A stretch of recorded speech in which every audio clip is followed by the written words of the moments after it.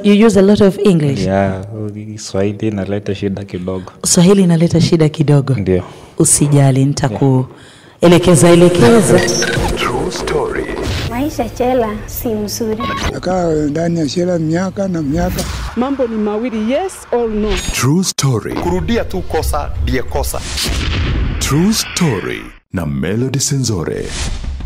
You use a lot of English. swahili Kiswahili inaleta shida kidogo. Swahili inaleta shida kidogo. Ndio. Usijali, nitakuelekeza elekeza. Tutakuwa tunaingiza kizungu tatu, Kiswahili kimoja. Haya. Kizungu tatu, Kiswahili kimoja. Sawa. Karibu. Asante sana. Msikilizaji anasema atatumia kizungu kwa wingi, lakini usipate tabu. Najua pia nawe kizungu unakielewa jamani. Nataka kuzungumza na ndugu yangu mwingine ambaye aa, kwa kipindi fulani amekuwepo gerezani na Mungu akaweza kumsimamia, ametoka. Kwa hiyo ni wale ambao wamekamilisha kifungo chao na wanarudi katika jamii. Kumbuka wito wangu siku zote ni huu, wanapotoka ndugu zetu ambao walikuwepo gerezani, wanaporejea nyumbani, tuwapokee, tuwachukue kama ndugu zetu, tuwainue tena, tuwawezeshe kadri uwezo wetu waweze kusimama tena, maisha yaweze kuendelea sawa na yalivyokuwa hapo awali au hata bora zaidi. Karibu kwa makala ya True Story leo hii. Mie ni Melody Sinzore. Ndugu yangu, wewe waitwa nani? Naitwa mwinjilisti Paul Taabu Shiundu. Paul Taabu Shiundu. Ndio. Ulizaliwa wazazi wako wakakupa hilo jina Taabu. Eh, ila ni lenye mama alinipa wakati nilipozaliwa. Tabu Ne, kulingana na yeye mimba aliibeba. It was a teenage pregnancy. I don't know what is called teenage ni Swahili. ni mimba ya mapema Ehe, ama ndio. ujauzito wa mapema. Ndio. Ndio maana akaniita jina hilo kwa maana alikuwa pia na mke mwenza uh-huh. mwenye alimtatiza sana akiwa msichana mdogo. You can imagine mtoto mdogo uko na mimba na huku ule mama mwingine anakuletea shida sana, Mm. ndio maana akanipa hilo jina. Jamani, Ndio. Unajua huwa tunasema kwamba majina yana uzito. Ndio yana uzito. Sijui kama maisha yako yamekuwa ya tabu kisa uliitwa Tabu. Maisha yangu si- sijui nisemaje, Sema vyovyote vile. Hajakuwa taabu vile sana, kwa maana Bwana Mungu aliponipeleka katika ile familia, unajua katika familia you cannot choose where you'll be born. Never. So wakati nilikuwa katika hiyo familia, udogo wangu wote nimezaliwa na civil servant uh, family, uh-huh. so kamkate Kakosi. akakosi bluebird yuko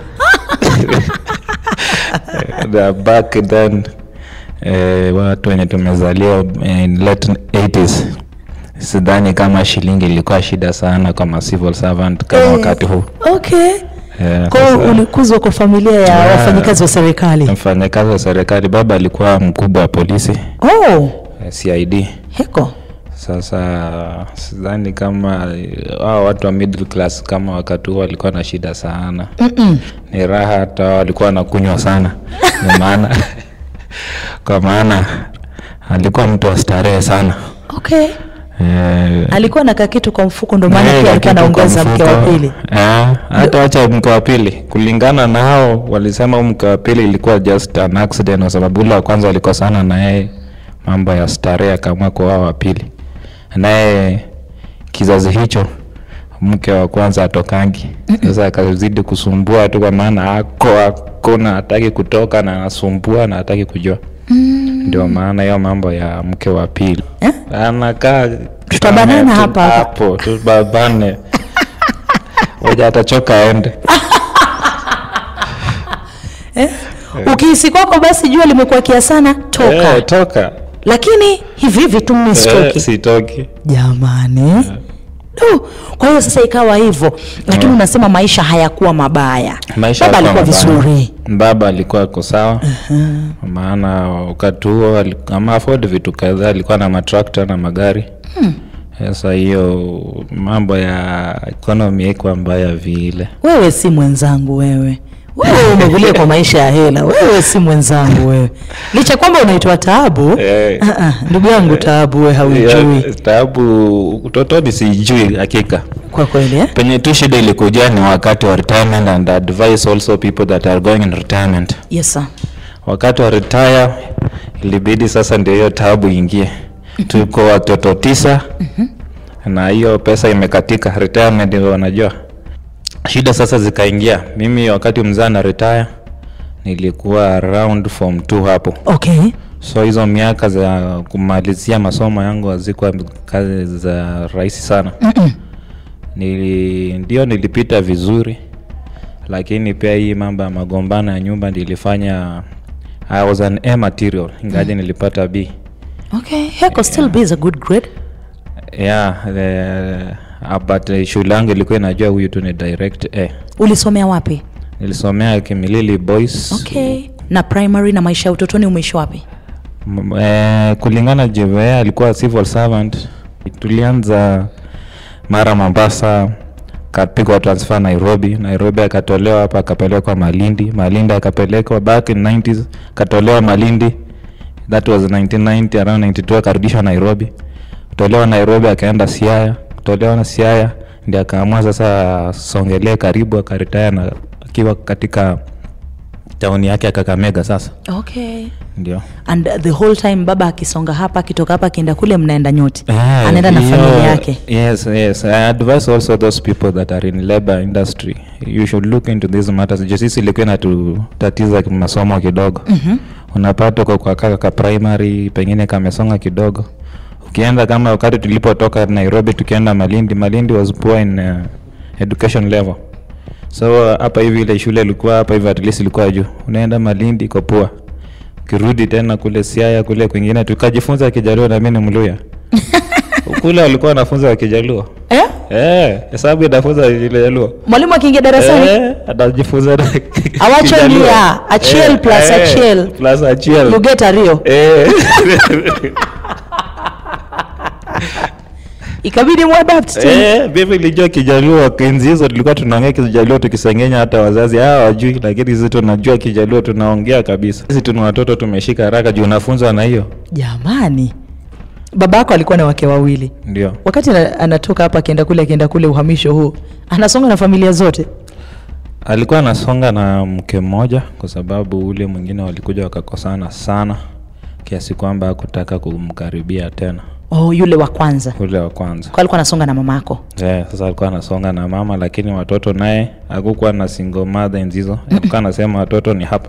kwa hiyo watoto wote Watoto wote mama mmoja. Tisa wote huyu mama mdogo huyu ang'ang'ane nao. Na baba juu alikuwa mlevi sana. Mama alikuwa anakazia sana mpaka wote waende shuleni. wow. Alikaza sana hata hiyo watoto wa hiyo nyumba kubwa wakaweza kwenda shuleni. Wote Heko. walisoma. heko Hakuna mwenye hakuenda any further tertiary level. Wote walitrain. Wow. their in respective fields.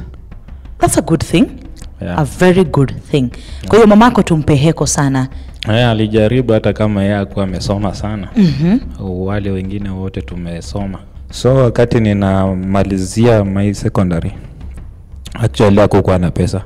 I had to walk from Kimilili to Mias mm-hmm. several times kila tukifunga shule na sometimes tukifungua sababu hakuna pesa. Mm. and you want to learn. Mm. you can imagine hiyo situation but you still pass mtihani tu. Heko. Unatoka nyumbani karibu saa kumi saa tisa hivi. Unaanza safari. Na mfuko wako tu umebeba hapo kwa mgongo. By around saa kumi na moja saa kumi na mbili jioni umefika kwa geti ya shule. Umeingia. Niliuza mpaka chang'aa. Hmm? niseme hiyo eh. Ilikuwa nabidi nichemshe chang'aa sasa si pesa ni unataka. Ngaja ya ngaja napenda anapenda because is pride. Alikuwa anaona ni mkubwa polisi. Ukianza kusema unajua mambo ya vijiji venye watu huongea. Lakini sasa mimi naye nataka pesa nifanye nini? Kabidi nichemshe chang'aa unachemsha chang'aa pale kwa bomba Yeah, lakini kama umejificha kabisa tumechimbia chini na mama. Umechimba mtungi chini kabisa umeweka huko chini kabisa mkienda kuchemsha mnaenda kuchemsha mi natoka mahali penye miwa iko. Mhm. mnaenda mnakata miwa kwa mahali ka uwanja alafu na sasa yeye atakuwa anaona tu moshi inatoka mahali fulani nadhani ni miwa yake inachomeka. Kumbe ni changa mnachemsha. Jamani. Eh, ndio upate hela kidogo at least mambo ya yapate kusonga mbele kidogo. Mm-hmm. Kwa wakati unauza changa ni mwanafunzi bado? Bado wewe ni eh, mwanafunzi? mimi ni mwanafunzi. Ndio unajitahidi umalize. Eh, Mm -hmm. kitu tu ya ajabu ni kwamba wako wanajua ninakunywa hata mimi. Hapo ndio penye my alcoholic problem started. True Story. Ndani ya Jambo Kenya. Jambo Kenya.